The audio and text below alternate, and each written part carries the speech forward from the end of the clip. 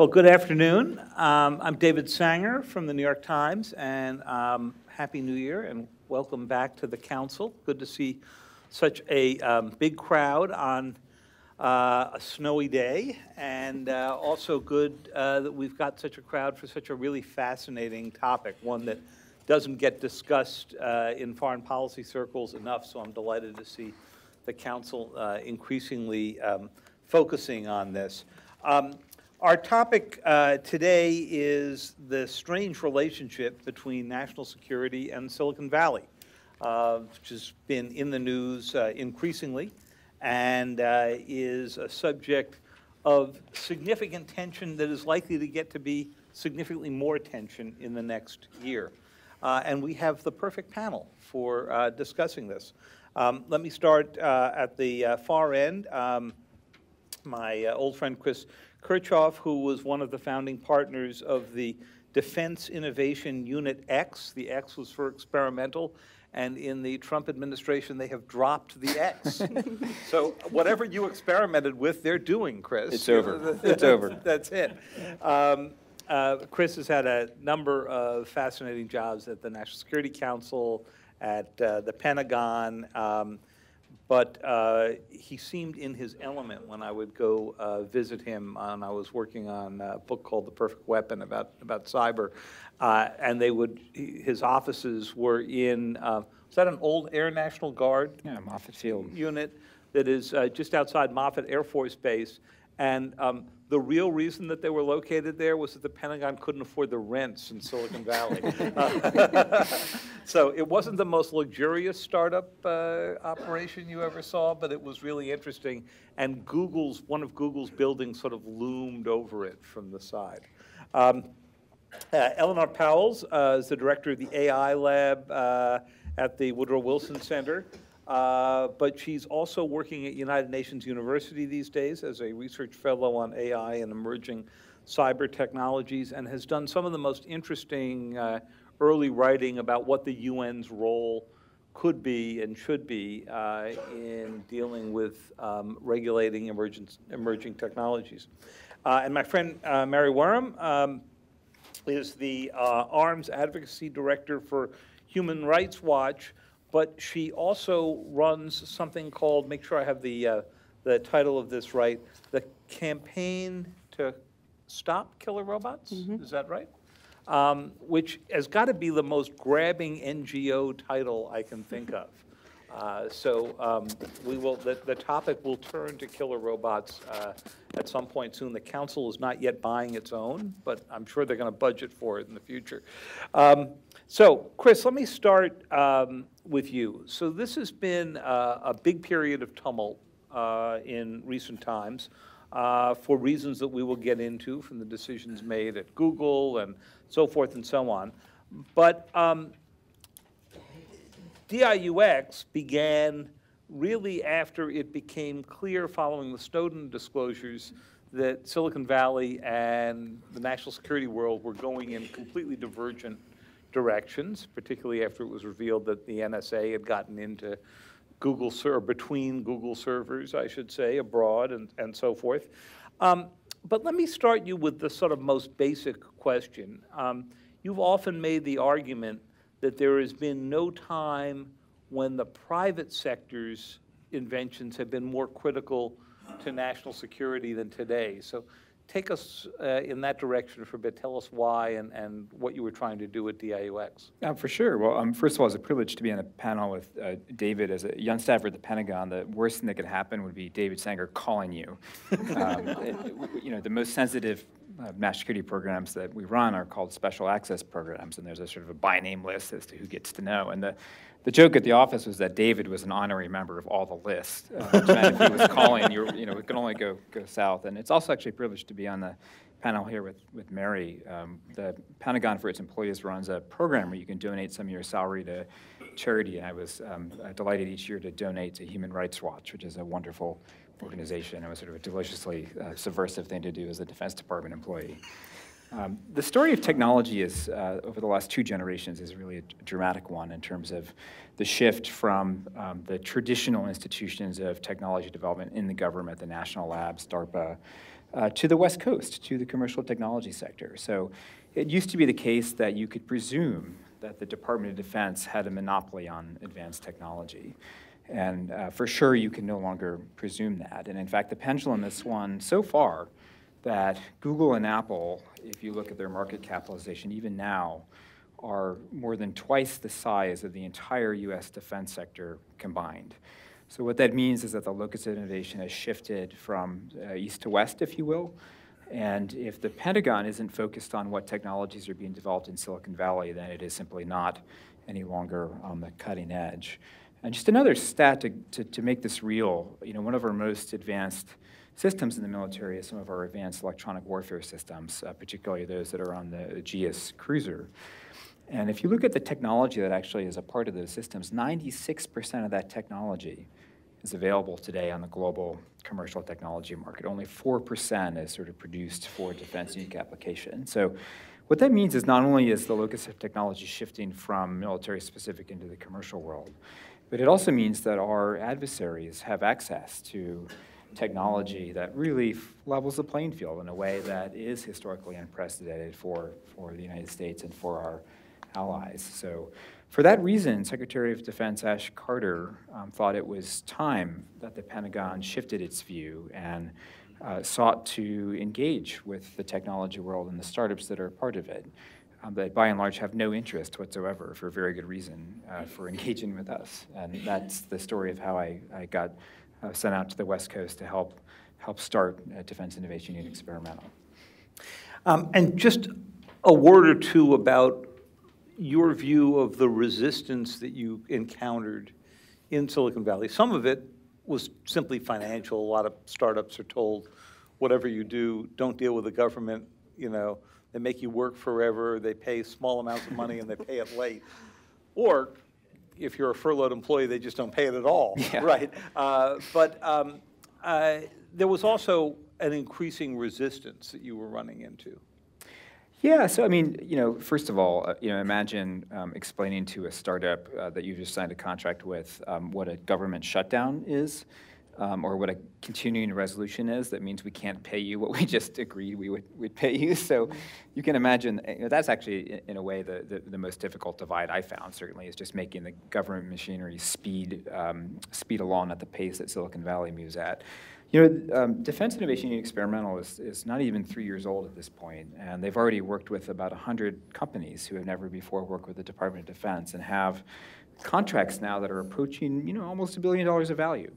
And, and so what we found certainly um, was a, a, large number of startups actually that were very interested in working with the military on a variety of missions, everything from humanitarian disaster relief to uh, one project actually on, on cancer detection. Uh, not all of our projects were necessarily about kinetic uh, warfighting. So uh, certainly there is a debate going on uh, in our nation around technology and, and in, in, technology firms in Silicon Valley. But I, I, would say that DIUX was largely unaffected actually by those debates, mm-hmm. except in a couple specific instances. Okay.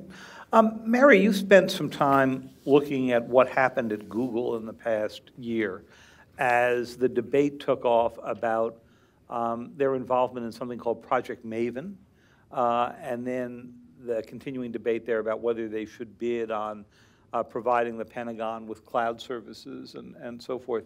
Um, tell us a little bit about what you learned as you um, worked with the 4,000 or so Google employees who uh, uh, seem to object here. Thanks, David, and thanks to the Council on Foreign Relations for uh, convening this discussion and to my panelists. Um, I think a perfect panel actually on this topic would be one with, with representatives from the companies, uh, both from the management as well as the tech workers themselves. Uh, and I don't want to speak on, on, uh, on behalf of either of those, those groups, but I think the story of uh, Project Maven and, and what happened uh, with the Google employees last year is, a, is a, an interesting one from our perspective at Human Rights Watch, uh, mainly with respect to the debate over autonomous weapons and the campaign to stop killer robots, which I'm coordinating. I think a lot of people probably here knew that uh, the Pentagon had, had, embarked on this project with Google, but the, it was out of the public eye until early last year when a reporter at Gizmodo called Kate Conger, who's now over at the New York Times, started to publish a series of pieces about this project uh, that Google was undertaking to, from what we understand, uh, identify objects from video footage that had been shot by the surveillance drones uh, owned by the, the US Department of Defense. Uh, and the idea, from what I understand, was to use the machine learning and, and AI to sift through all of that data. Um, I wrote a letter to the heads of Google after reading that article just to seek more information on Project Maven and to find out how how they were going to avoid uh, a slippery slope whereby identifying objects uh, could then turn into uh, identifying targets uh, for, for, for lethal attacks.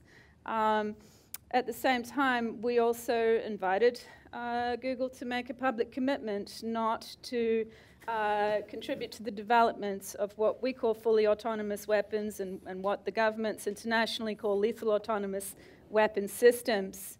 Uh, and that, for me, sparked a kind of a, a series of conference calls with uh, some of this human rights staff and others at Google.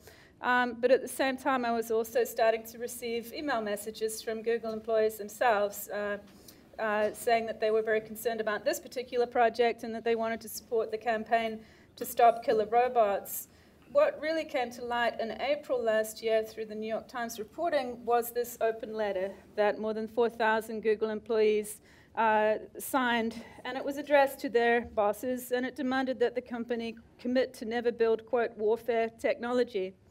Uh, a few weeks later, at the beginning of June, Google issued the first set of ethical principles for the company. Uh, and these are quite detailed principles, and I looked through them to see if they had heeded the call from the campaign to stop killer robots. And the principles uh, commit the company not to design or deploy artificial intelligence for use in weapons or in technology that causes overall harm uh, to humans. Um, that was more than we had called for. That was a pretty big uh, commitment. The trick will be in how it is operationalized, but we welcomed that commitment. And uh, a few days before issuing these ethical principles, Google also indicated that it would no longer be participating in Project Maven once it expires, uh, once that contract expired this year. And then a few months later in October, Google announced that it would, would not be bidding on this much bigger uh, Pentagon cloud computing contract, which I understand is, is worth billions of dollars, uh, and other major tech giants are, are still uh, bidding on that. So that's the story uh, in a nutshell of Project Maven and the Google employees' actions, uh, which just last week were acknowledged with the Arms Control Award by the Arms Control Association. It will be, it was given to the, these anonymous Google employees, so they're going to hand it over in April. I'm not too sure how they hand it over. Um, and in the, in the meantime, we've been continuing uh, from the campaign our engagement uh, with interested tech workers. And um, these are tech workers not only in Silicon Valley, Google ones included, but in Europe uh, and other parts of the world. People were contacting mm-hmm. me from uh, Google offices in Zurich and Dublin and Japan and, and elsewhere.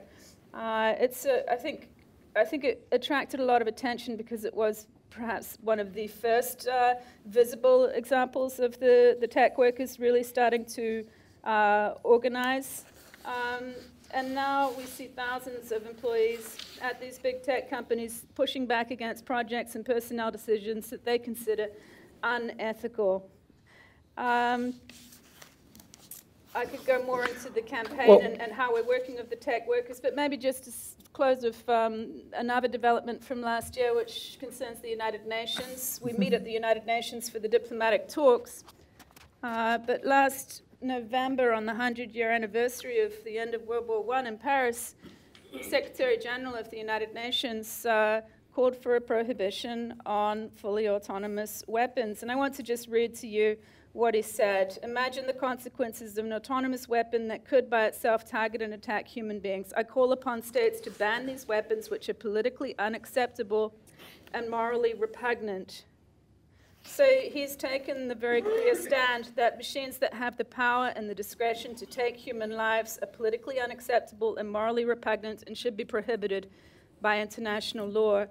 Um, so those are a couple of examples of some of the things that happened last year uh, with respect to the debate over autonomy and weapon systems, and I think uh, they show the, the momentum is building uh, towards the creation of new international law.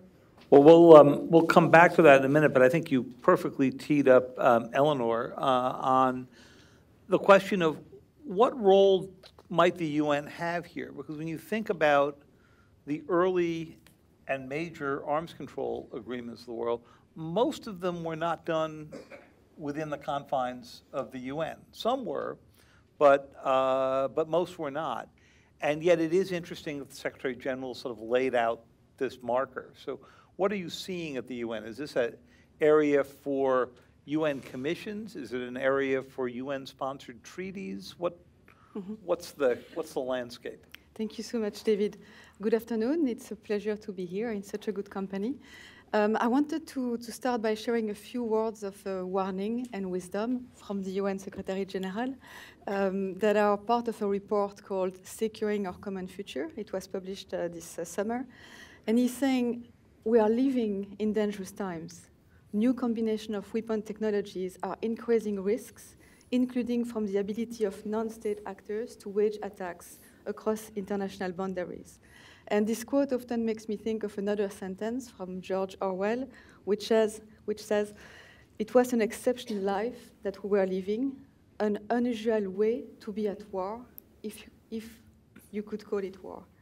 And so, indeed, at the UN governance level, there is an acute understanding that we are facing a new form of tech convergence, which is simply too powerful for humankind to refuse, but also inherently dual use, with drastic and long term implications for global security in cyberspace. And so, there is a, uh, therefore a conviction that we need foresight. We need foresight and prevention for the cyber era.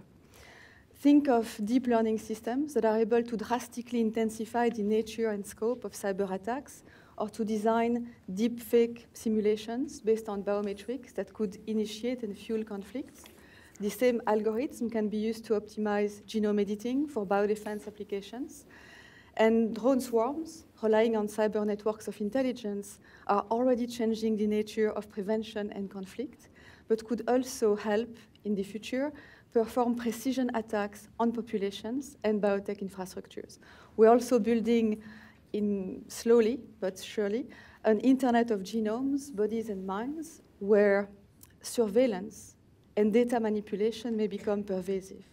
And so increasingly, there is an acute understanding at the UN of this new permeability between civil and military technologies, which is disrupting prevention, denying attribution, and atomizing responsibility, and therefore creating new risk for civilian security.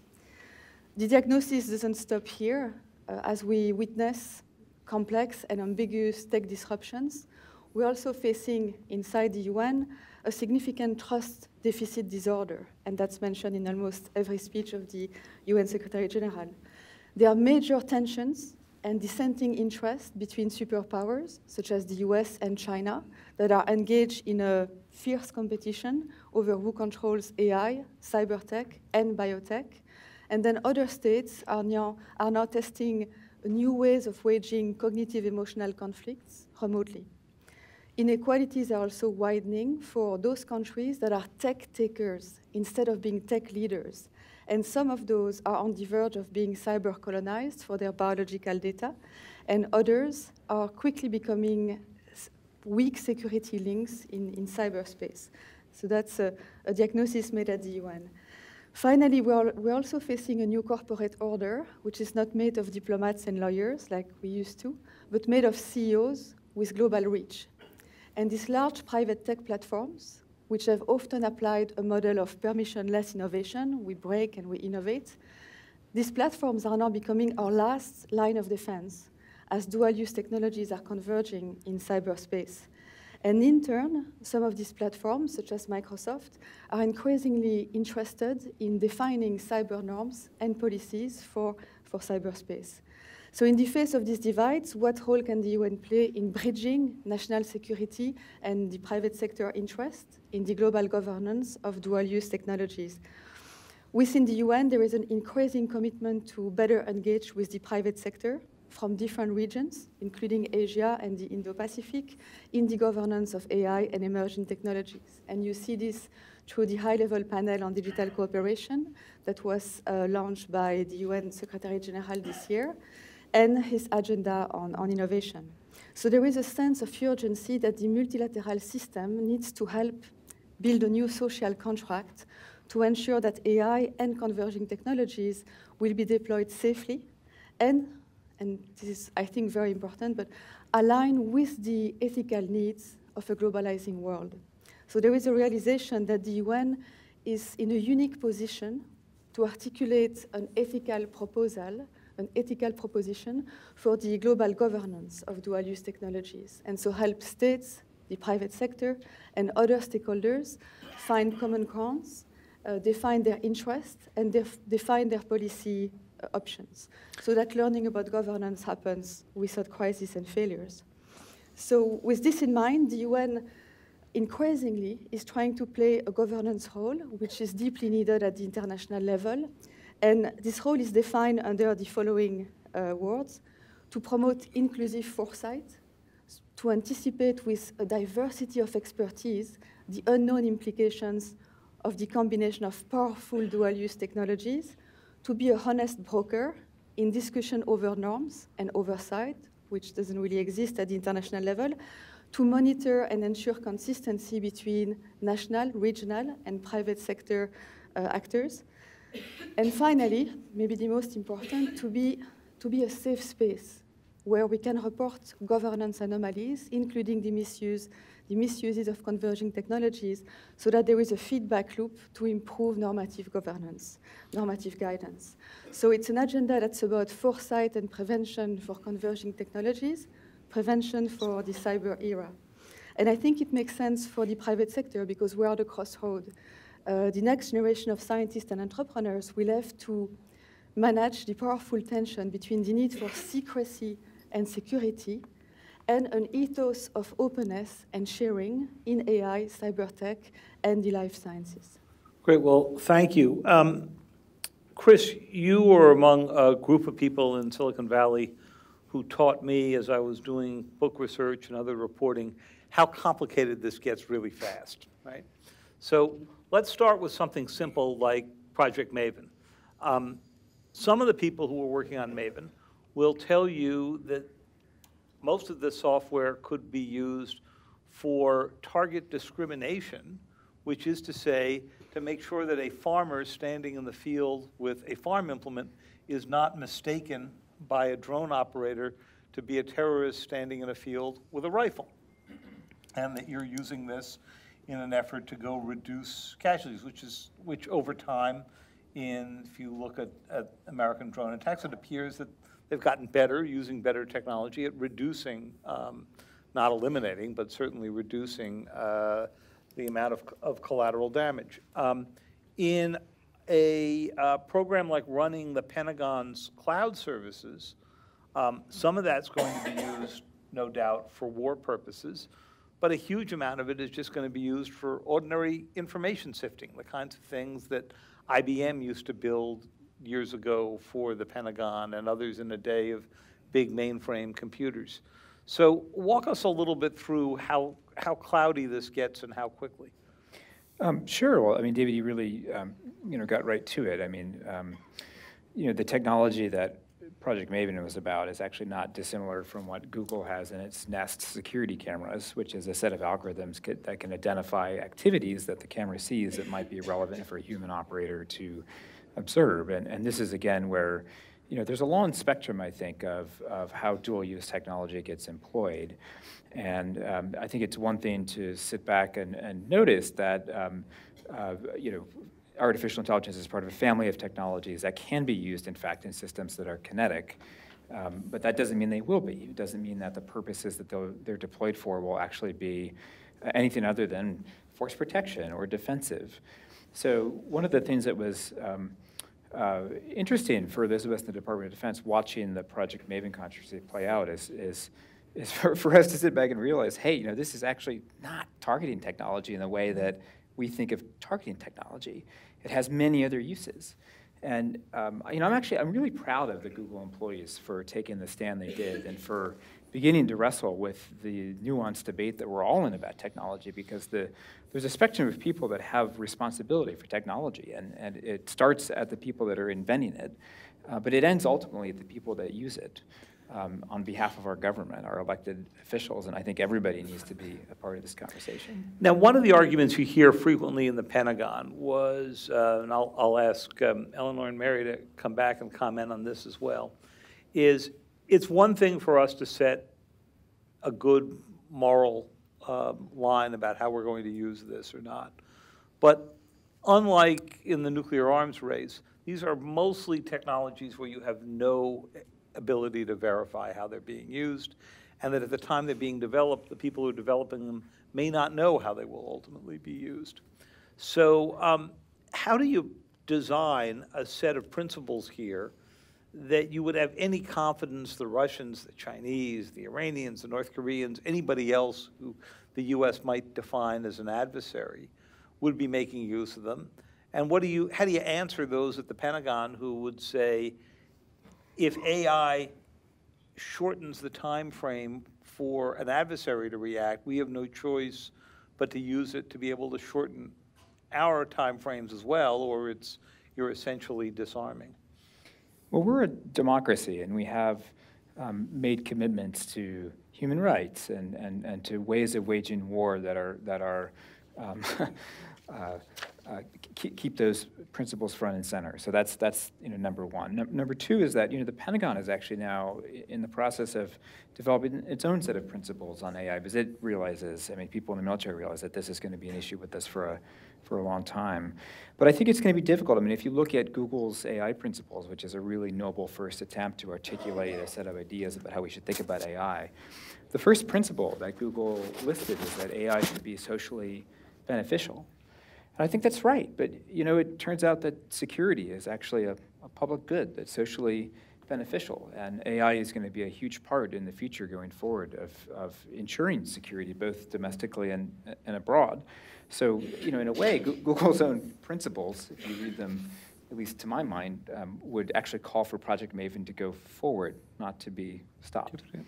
So, Mary, um, when you look at this, I mean, this is the ultimate dual-use technology, as we discussed with Maven. You could use it to avoid civilian casualties. You could use it to improve um, targeting, and you could be doing both those at the same time. Yeah, I mean, maybe just to be clear, the campaign to stop killer robots calls for a preemptive ban on fully autonomous weapons. Preemptive means future weapon systems, not the current ones today. So, you know, prohibiting armed drones is not within the scope of right. the, the campaign to stop killer robots, and different members of the coalition have got different opinions on the impact of drones, which some, I guess, call. But it would stop a fully autonomous drone, a, a future fully autonomous. Would it? The tech? Un- under, under your principles? What we're seeking is internet. We're, we're seeking new law, and we're hearing a lot of talk at the moment about principles. Principles are fine. Uh, you know, Google's issued its principles. We spent last year at the United Nations. Uh, uh in August, uh, with the diplomats, while they negotiated principles uh, uh, from the talks on lethal autonomous weapon systems, and they came up with a big set of non-binding principles. And, and, one of the first kind of findings of that was that international law applies uh, to, to new weapon systems, uh, including lethal autonomous weapon systems. Uh, and it also affirmed the importance of the human element. Uh, and so uh, for us, that showed that governments are willing and ready to negotiate on the topic of killer robots. The problem is that they were, negotiating non-binding principles for a final report of the conference and not the international treaty that we seek. Uh, we seek uh, new international law and, and, national laws because that's way more binding and permanent than ethical principles, which can be forgotten, like policy, uh, overridden, dis, you know, disbanded, uh, and that kind of thing. We know that um, there are all sorts of challenges involved with uh, verification and monitoring of such an international treaty, but that's no reason for not attempting this, uh, and it has been done before as you might have seen from many of the open letters that have been issued since 2015 from the, from the technology experts and, in those, in the AI experts in those communities, they talk about how they're a little bit like the nuclear scientists and the chemists of last century who, who, who wanted to continue their work in those fields but did not want to see it weaponized. And that resulted in the creation of the Chemical Weapons Convention. Um, we now have the Treaty on the Prohibition of Nuclear Weapons. Uh, and these, these provide the normative frameworks uh, to deal with some of the challenges that have been raised. Great. So Eleonore, last question for you before we open this up uh, to everybody else. So the UN's first sort of toe in the water in this area was the creation of a council of experts who were looking mostly at cyber, less at artificial intelligence issues. And for a year or two, they came up with some good principles. The US, the Chinese, the Russians all signed on. Then last year, the effort seemed to kind of fall apart as uh, they met again, tried to push these forward, and basically sort of backtracked even on some of their initial agreements. What, is, what lessons are to be learned from how the UN has approached this kind of thing before? Mhm. Increasingly, I think the strategy will not necessarily be to get a consensus at the interstate level, but actually have the UN uh, invest in, a, in almost a new ethos of foresight and, and prediction, so prediction for prevention. Um, I had a conversation with engineers at DeepMind this summer, and the, the most interesting part of our interaction was uh, this notion that we as a species are really bad at anticipation. We, we just don't do foresight, we don't do it well. Um, and I think most, maybe the most crucial at this point would be to, to be able to engage the private sector, national policymakers, uh, experts in academia and civil society in that process of, of foresight, so anticipating the implications of dual use technologies. And I say so because uh, one element that I think is the most interesting here is this permeability between civil and military technologies and the increasing collusion between uh, civil and military contexts. So, for example, um, we're facing a, a, a, drastic phenomenon, phenomenon of decentralization in converging technologies. Uh, you can these days uh, use automated biolabs. I call them intelligent and connected. They are biotech labs in the cloud where you can run about 50 type of bioexperiments um, just from your computer anywhere in the world. And you can basically harness those processes to piece together benign DNA fragments into sequences that could lead to the production of uh, bioagents of concern. And using those systems, you can, to some extent, evade some of the um, norms that we have developed at, uh, at national levels and, and even international levels. Great. So this decentralization is really showing you how um, you know, te technological experts will not be able to truly opt out of the security consequences of what they design. And so we need to have them uh, upstream in the process in a conversation with policymakers um, and, and other experts doing foresight. And if we can then shape the design of those dual-use technologies so that we have a form of, uh, uh, uh you know, a, a, form of uh, non-contamination, a way to be able to uh, target the decentralization process. I think that would be very interesting. Well, we've got about 25 minutes for all of your questions. There are microphones. Please wait until the uh, microphone uh, comes to you. Uh, a couple of things to know. First of all, as I should have noted uh, earlier, uh, all of this uh, session is on the record, so that means your questions are also on the record. And when you do get the microphone, please stand and tell us your name and your affiliation and really try to make sure that it's um, one question. great, so who would like to start off here? Sir. thank you. John Yokelson, Building Engineering and Science Talent. I wonder whether you could compare the, the issues that surround culture and the issues that surround values as the, as the key divide between um, our national security establishment and, uh, and Silicon Valley. It sounds from this conversation is that, that it's about values, and we haven't said much about culture. Who wants to pick that up? Chris?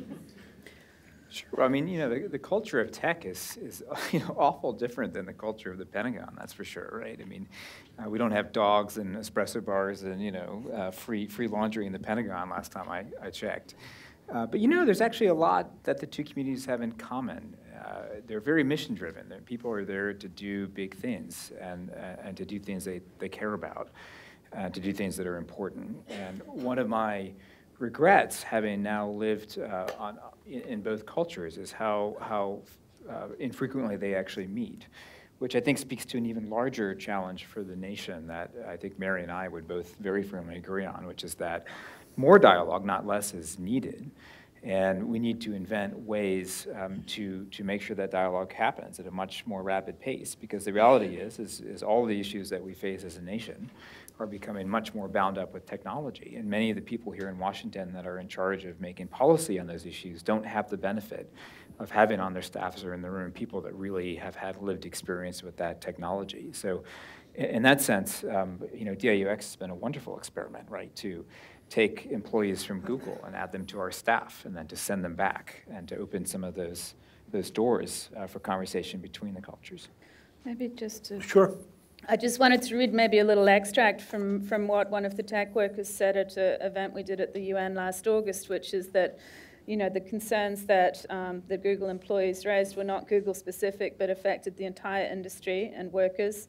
And they weren't just about the military applications of the tech and its use, but about uh, use in domestic policing and surveillance and, and in other circumstances.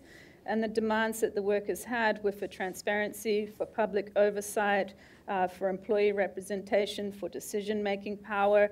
Um, you know, they wanted to stand up for the rights of all people and to give those on the receiving end of this technology control over their own lives. And those are quite lofty, uh, you know, that's quite a lofty message to, to, to give.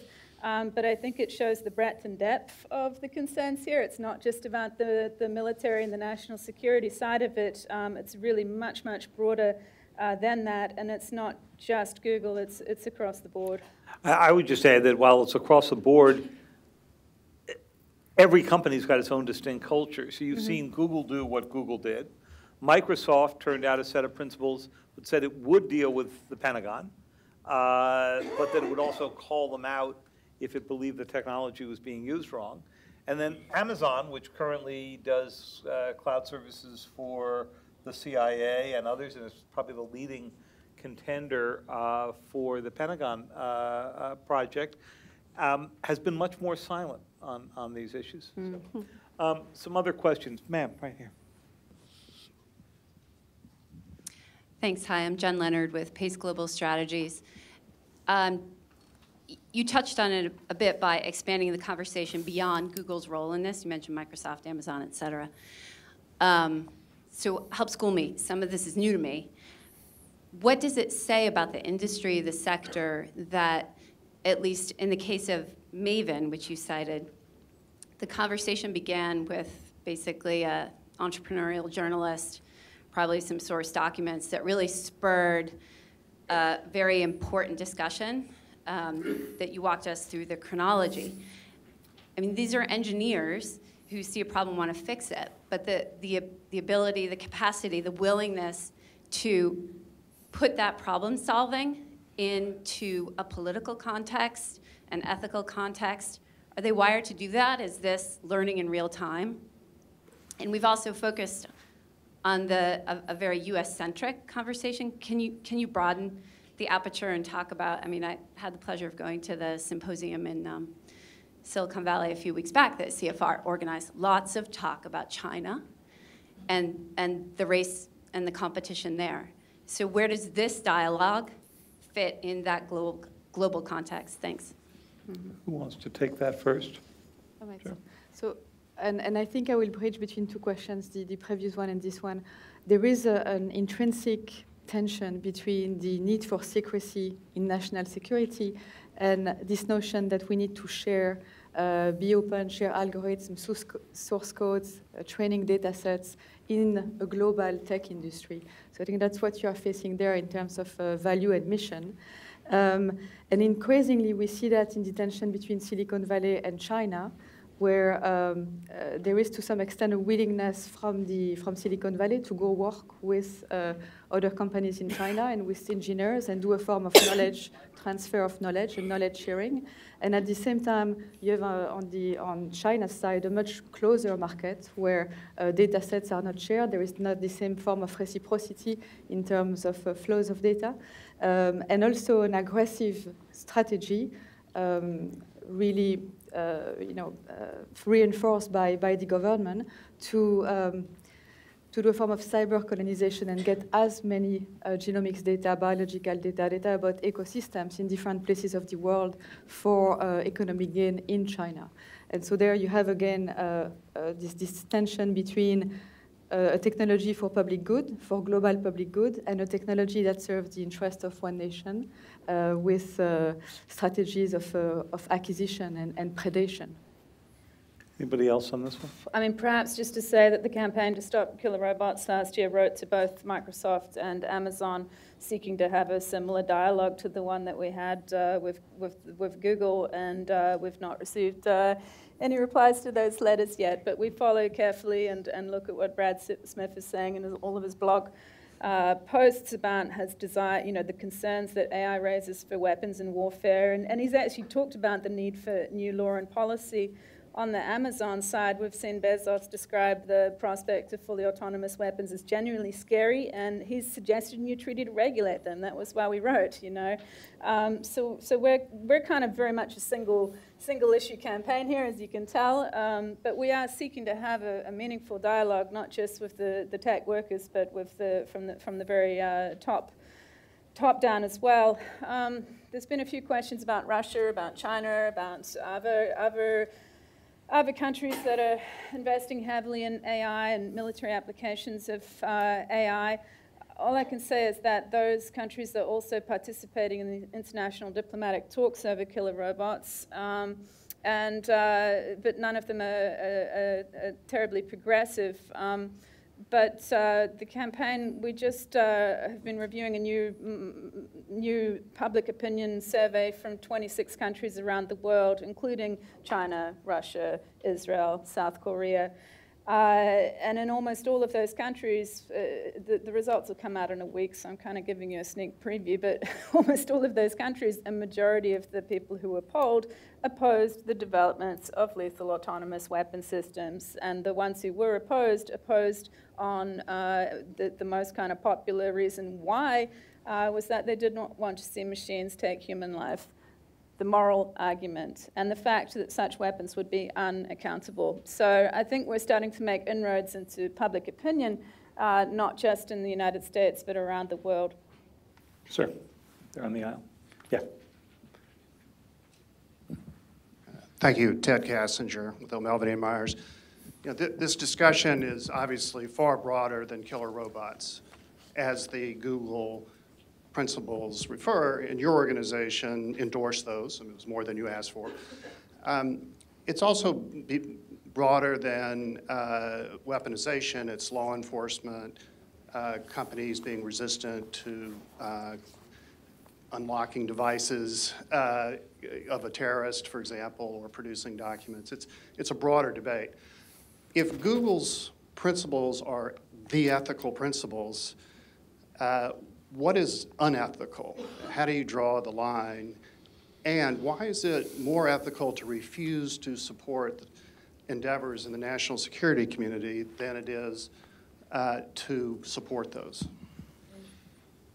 Chris, do you want to take a first shot? Yeah, I mean, I, I, I think we should be very clear-eyed about what's happening. Um, what's happening is that uh, because the world is a much flatter place because of technology, the um, liberal world order, the nations of the US and, and, and, Europe are, are not enjoying the kind of technological supremacy that they have for a long time. And um, this has big implications for the ongoing competition between democracies on the one hand and autocracies uh, on the other. And uh, just look at the way that you know, China and Russia are both using AI uh, to suppress their own populations. So one thing that we sure, certainly cannot afford to have happen as a nation at this moment um, is to have um, the people uh, in the tech companies that are the smartest in this technology eschewing any contact with these very difficult issues and walking away. It would be like Detroit walking away in 1941 from the war effort. It just can't happen. Um, so I, I'm hopeful that um, as we go forward in these debates, people in tech companies are able to understand that these debates are playing out in a global context um, where, where we're, uh, we are in a, in a very uh, competitive uh, new world. Um, Sure. Perhaps just to say that, that when I was speaking about uh, Google's ethical principles and, and, and the campaign, it was the campaign welcomed the, the weapons part of that. Uh, the, the broader, the ethical principles, though, address all sorts of different aspects uh, raised by AI, and uh, my organization, Human Rights Watch, and others have got some, some big questions about other parts of them. Uh, and other colleagues in my organization could speak much better to the surveillance concerns, to the developments and use of facial recognition uh, software and that tech uh, and how that's being developed. So I don't want anyone to kind of go away and think, oh, we're all, we're all good now that Google has issued these ethical principles. We're not. There's still a lot of work to do, but at least we've got a document to start the discussion with when it comes to that company. Okay, let's see here.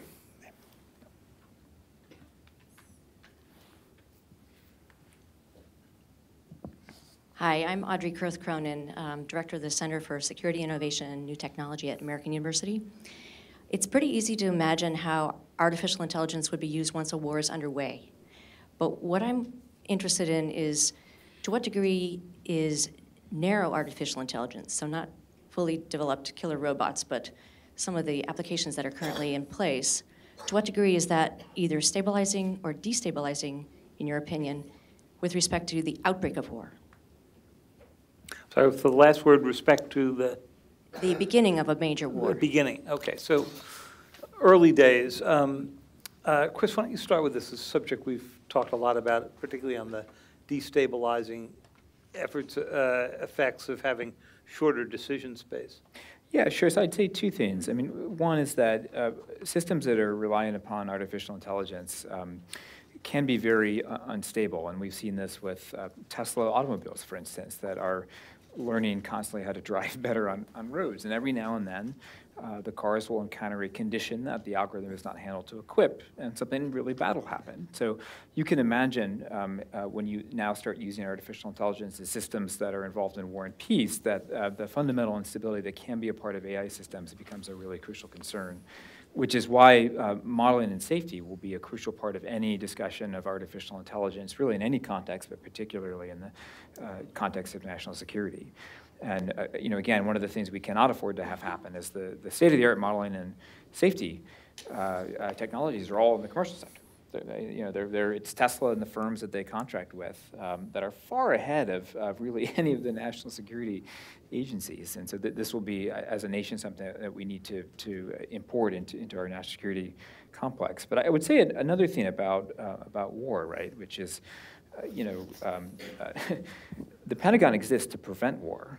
To, to, to, deter war, to make sure that war never happens. I mean, war if it does happen between advanced states, it's going to be so violent, so catastrophic, it's going to happen so quickly. Um, it's not going to be anything like we've ever known before. It's going to be the worst possible outcome we could ever get to. So I think we need to do everything we can to never allow war to break out. And artificial intelligence is going to be one of the key technologies that will advance what the Pentagon calls indication and warning. Um, uh, using, for instance, artificial intelligence to shift through satellite data, to pick up indications that there might be, for instance, a missile launch by North Korea, um, and then taking steps to prevent that from happening before, before, before it does, right? So, so these technologies, um, uh, you know, again, are very nuanced, very complicated, have many applications, and may end up having applications that stop war. Eleonore, can you pick up on that? As in the discussions at the UN, do you hear much discussion of the deterrent effects of these technologies? Um, yes, I mean, in terms of uh, how narrow AI could be used in cyber defense and uh, cyber offense, uh, one of the issues is that adversarial neural networks have a tendency to show aggressive behaviors and uh, kind of escalate behaviors when they, when they are used to automate cyber attacks. So you could be facing uh, a problem with, you know, not, not really having a concept of proportionality anymore that, uh, that stands. In terms of um, deterrence, I mean, uh, that's not really a, a, strategy we can use in the same way, but um, algorithm could help you increasingly identifying where the source of the aggression comes from, not necessarily uh, the identity or the attribution as we were doing it in the past, but uh, could help you patch some of the some of the issues you are facing. So it's another form of it's more prevailing, prevailing by foresight and having strong algorithm on your side and really being able to um, do a full attribution like we're thinking. But so if, if, if I may, I wanted to bridge the, the two last questions with, I think we're focusing extremely on this notion of military use of, uh, of those conversion technologies, but you could think of so many other ways that either data manipulation, you manipulate data using algorithms in a genomics database, or you, um, you know, use uh, those automated attacks for propaganda, for surveillance, for cognitive emotional conflict, manipulating public perceptions uh, inside foreign countries.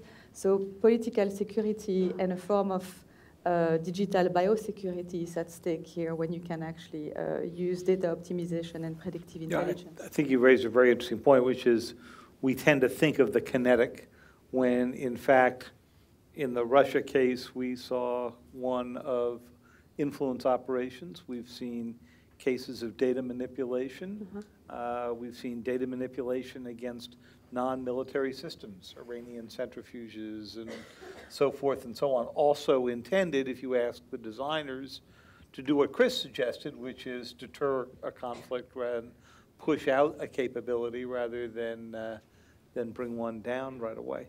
Uh, We have about six or seven minutes, so I'm going to grab three questions and let the um, panel here in that wonderful Washington way decide which ones they're going to answer.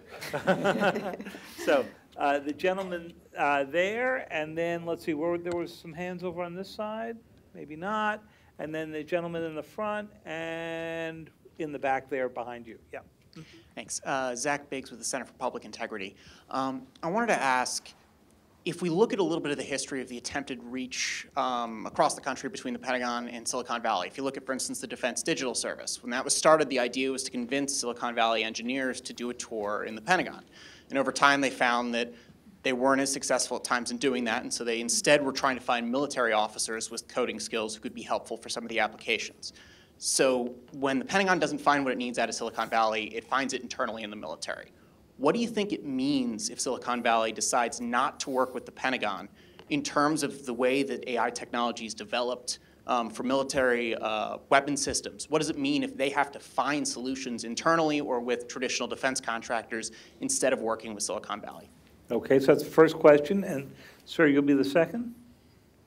Uh, Thank you. I'm Hanif Indakli, Clinton Group.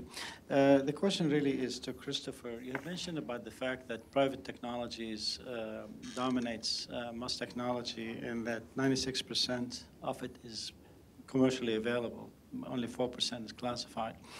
Uh, My question is, is, does this apply to technology in general, or is it the application of technology, that division between the 96 and 4%? And two, how does this compare to, for example, places like China, Russia, other places? Okay, and sir?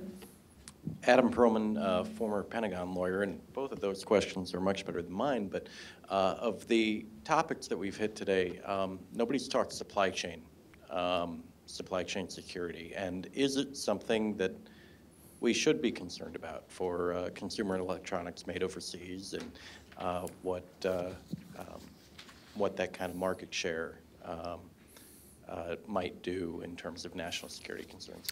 Okay, three um, great questions. Um, Chris, I think we'll start with you on the, uh, the first one, which was the um, Defense Digital Service, what we learned from that, and whether the Pentagon can provide this coding themselves. If they could, I don't think DIUX would necessarily have been around.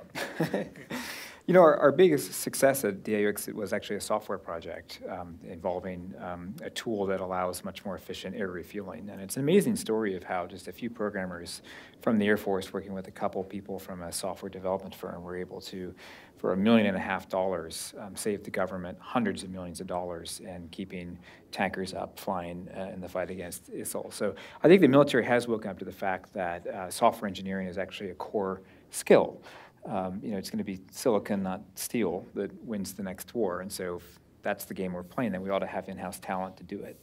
Um, I think the Defense Digital Service has actually had a lot of successes that have been really important. Um, uh, But as Zach mentioned, there, I mean, there is this, this uh, divide, right, in terms of attracting people uh, truly from the, from the sort of the real private sector, the, the, the tech firms, who have a level of skill that's, that's, you know, 10x, maybe even 100x your average programmer that hasn't had that experience. And if we fail to attract them, um, if we fail to develop easy ways to hire them, to respect their unique skills, to bring them in laterally for a couple years and to put them to work on our hardest operational problems, to get them a security clearance quickly so they don't have to wait a year and a half to actually do something real. If we don't do that, make no mistake, we will have a weaker military because of it. You know, you remind me of a story I heard when I was out doing some reporting, where one of your colleagues said to a head of a small Silicon Valley startup, the, the startup head had said to him, you know, I would give you some of my coders, but I don't think they would get a security clearance. And he said, you mean because they smoked weed when they were in college? And he said, no, because they smoke weed while they code.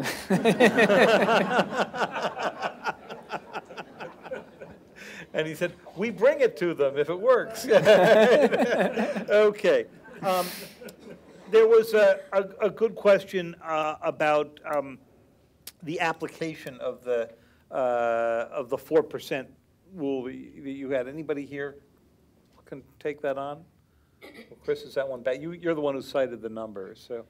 Yeah, I mean, I would just say that, look, you know, um, one of the challenges for all of us is that technology is really democratizing. So it used to be the case that if you wanted to exert power in the world, you built, you built an aircraft carrier or a fifth generation stealth fighter. And now, if you're a small group of people, you can literally go on Amazon, uh, you can buy a drone, you can strap a grenade to it, and you can cause a real problem, whether, whether you're ISIS in the Middle East or whether you want to go, uh, you know, make, make an NFL football game uh, more exciting than it ordinarily is. So, so technology is democratizing, and it's not just in the kinetic warfare, it's in, it's in bio, it's in many other areas. And, and so we, I think, as a nation, uh, both law enforcement and national security, are, are facing a whole new world. Um, and it's going to take um, uh, deep cooperation from the people that know these technologies the best to do all they can to keep, um, to keep our nation sovereign, to keep, keep us all, us all safe. Mary, can you take on the supply chain question? Not No, you can't. Not my, Ele- sorry, Eleonore? not my thing. Uh, Talk a little bit about it. I'm sure the issues come up some as people have dealt with the sovereignty issues in the, uh, at the UN. I was more thinking about it in a, in a, in a technical aspect, but I don't know if that's what the interlocutor meant.